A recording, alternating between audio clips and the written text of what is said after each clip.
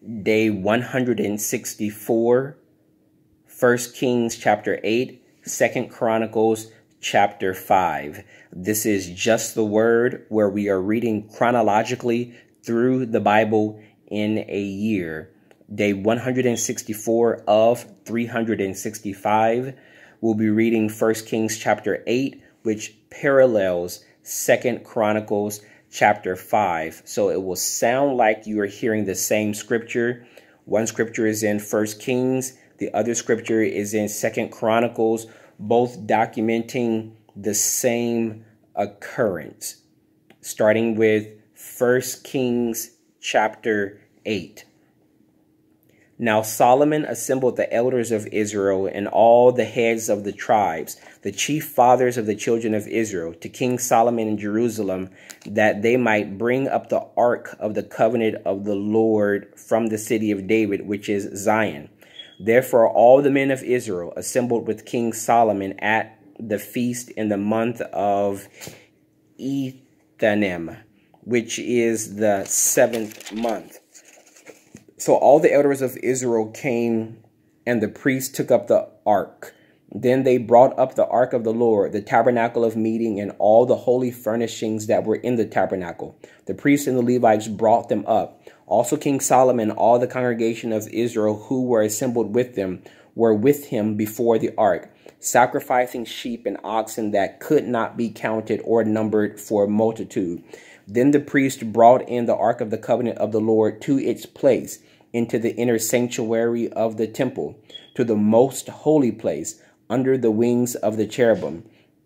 For the cherubim spread their two wings over the place of the ark, and the cherubim overshadowed the ark and its poles. The poles extended so that the ends of the poles could be seen from the holy place in front of the inner sanctuary, but they could not be seen from outside. And there were, and they are there to this day, Nothing was in the ark except the two tablets of stone which Moses put there at Horeb when the Lord made a covenant with the children of Israel when they came out of the land of Egypt. And it came to pass when the priest came out of the holy place that the cloud filled the house of the Lord, so that the priest could not continue ministering because of the cloud. For the glory of the Lord filled the house of the Lord. Then Solomon spoke. The Lord said he would dwell in the dark cloud. I have surely built you an exalted house and a place for you to dwell in forever. Then the king turned around and blessed the whole assembly of Israel, while all the assembly of Israel was standing. And he said, Blessed be the Lord God of Israel, who spoke with his mouth to my father David, and with his hand has fulfilled it saying, Since the day that I brought my people out of Egypt, I have chosen no city from any tribe of Israel in which to build a house, that my name might be there. But I chose David to be over my people Israel. Now it was in the heart of my father David to build a temple for the name of the Lord God of Israel. But the Lord said to my father David, Whereas it was in your heart to build a temple for my name, you did well that it was in your heart. Nevertheless, you shall not build the temple, but your son who will come from your body, he shall build the temple for my name. So the Lord has fulfilled his word which he spoke, and I have fulfilled the position of my father David to sit on the throne of Israel, as the Lord promised, and I have built a temple for the name of the Lord God of Israel. And there I have made a place for the ark, in which is the covenant of the Lord, which he made with our fathers, when he brought them out of the land of Egypt. Then Solomon stood before the altar of the Lord in the presence of all the assembly of Israel and spread out his hands towards heaven. And he said, Lord God of Israel, there is no God in heaven above or on earth below like you, who keep your covenant and mercy with your servants who walk before you with all their hearts. You have kept what you promised your servant David, my father. You have both spoken with your mouth and fulfilled it with your hands, as it is this day. Therefore, Lord God of Israel, now keep what you promised your servant David, my father, saying, You shall not fall to have, you shall not fail to have a man sit before me on the throne of Israel. Only if your sons take heed to their way that they walk before me as you have walked before me. And now I pray, O God of Israel, let your word come true, which you have spoken to your servant David my father. But will God indeed dwell on the earth? Behold, heaven and the heaven of heavens cannot contain you. How much less this temple which I have built? I regard the prayer of your servant and his supplication, O Lord my God, and listen to my prayer, my cry and the prayer which your servant is praying before you today, that your eyes may be open toward his temple night and day, toward the place of which you said, My name shall be there, that you may hear the prayer which your servant makes toward this place. And may you hear the supplication of your servant and your people of Israel when they pray toward this place. Hear in heaven your dwelling place, and when you hear, forgive. When anyone sins against his neighbor and is forced to take an oath and comes and takes an oath before your altar in his temple, then heaven, then hear in heaven and act and judge your servants, condemning the wicked, bringing his way on his head, and justifying the righteous by giving him according to his righteousness. When your people Israel are defeated before an enemy because they have sinned against you, and when they turn back to you and confess your way and pray and make supplication to you in this temple, then hear in heaven and forgive the sin of your people Israel and bring them back to the land which you gave to their fathers when the heavens are shut up and there is no rain because they have sinned against you, when they pray toward this place and confess your name and turn from their sin because you afflict them, then hear in heaven and forgive the sin of your servant, your people Israel, that you may teach them the good way in which they should walk, and send rain on your land which you have given to your people as an inheritance. When there is famine in the land, pestilence or blight or mildew, locust or grasshopper, when their enemies besiege them in the land of their cities, whatever plague or whatever sickness there is, whatever prayer, whatever supplication is made by anyone or by all your people Israel, when each one knows the plague of his own heart and spreads out his hands toward his temple, then hear in heaven your dwelling place and forgive and act and give to everyone according to all his ways, whose heart you know, for you alone know the hearts of all the sons of men, that they may fear you all the days that they live in the land which you gave to your fathers. Moreover, concerning a foreigner who is not of your people Israel, but has come from a far country for your name's sake, for they will hear of your great name and your strong hand and your outstretched arm, when he comes and prays toward this temple here in heaven, your dwelling place, and do according to all for which the foreigner calls to you, that all peoples of the earth may know your name and fear you, as do your people Israel, and that they may know that this temple which I have built is called your name. When your people go out to battle against their enemy, wherever you send them, and when they pray to the Lord toward the city which you have chosen and the temple which I have built for your name, then hear in heaven their prayer and their supplication and maintain their cause when they sin against you, for there is no one who does not sin.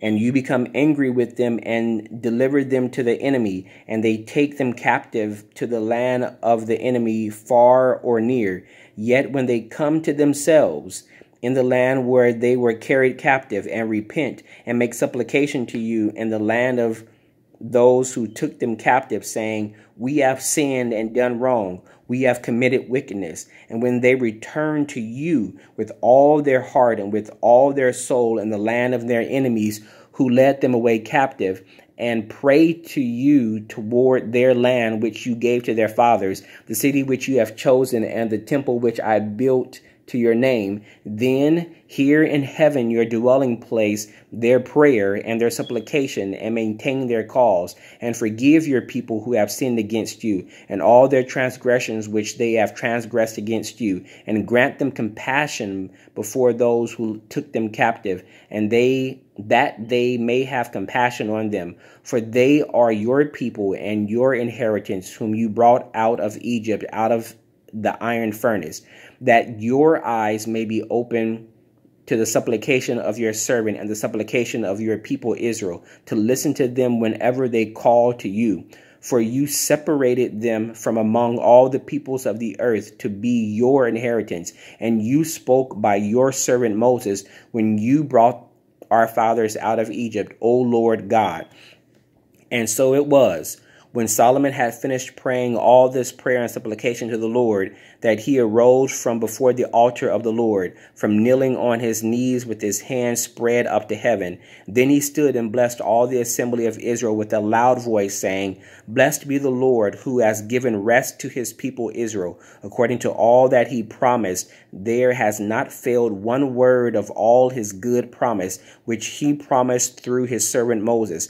May the Lord our God be with us as he was with our fathers. May he not leave us nor forsake us, that he may incline our hearts to himself, to walk in all his ways, to keep his commandments and his statutes and his judgments, which he commanded our fathers. And may these words of mine, which with which I have made supplication before the Lord, be near the Lord our God day and night, that he may maintain the cause of his servant and the cause of his people Israel as each day may require, that all the peoples of the earth may know that the Lord is God, there is no other.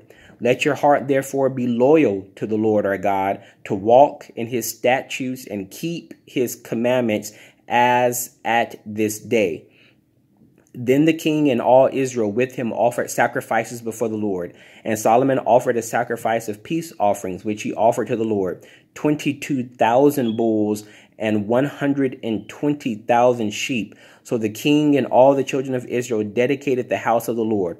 On the same day, the king consecrated the middle of the court that was in front of the house of the Lord, for there he offered burnt offerings, grain offerings, and the fat of peace offerings, because the bronze altar that was before the Lord was too small to receive the burnt offerings, the grain offerings, and the fat of the peace offerings.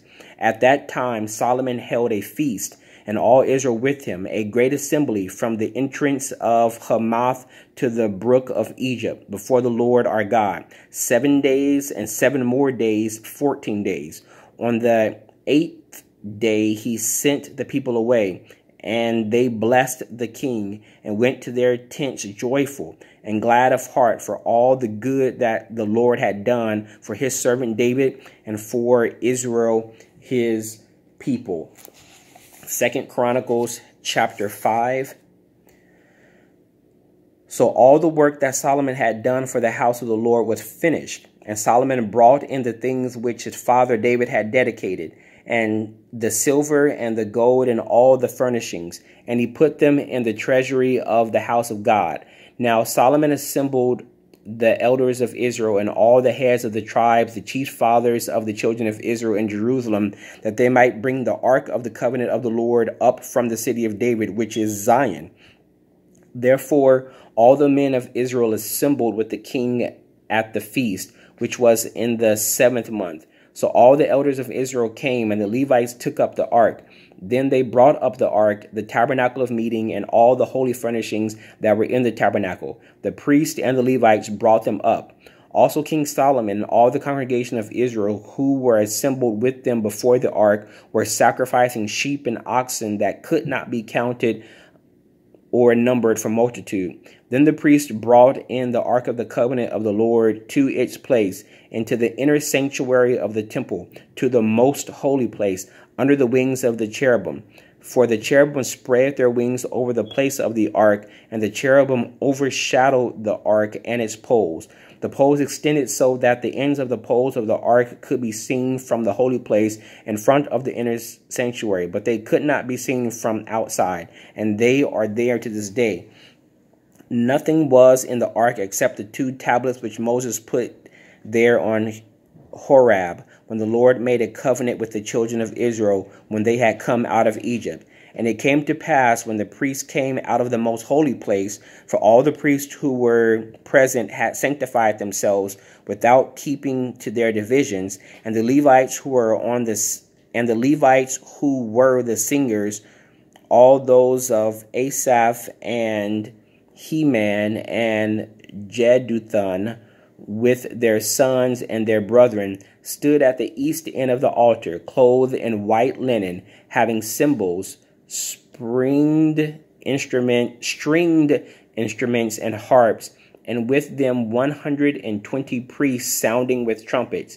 Indeed, it came to pass when the trumpets and singers were as one to make one sound to be heard in praising and thanking the Lord.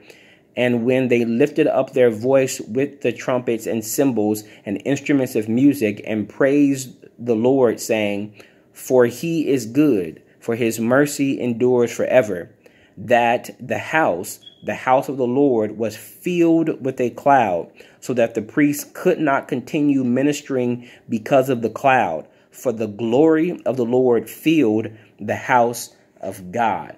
May the Lord add a blessing to the reading of the word. That was day 164, 1 Kings chapter 8, 2 Chronicles chapter 5.